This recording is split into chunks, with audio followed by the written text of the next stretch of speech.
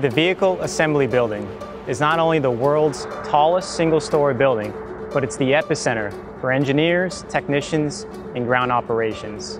These individuals strive to create for a better tomorrow, and they need tomorrow's technology to do it today.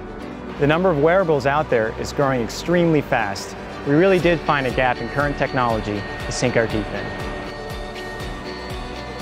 in. We've learned that we need a high quality communication device. In my 30 years as an engineer out here, I don't think I've seen a project progress uh, faster than this IDEAS project.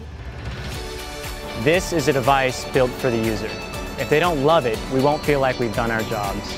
As we continue to meet with the users, we're getting to share that future with them.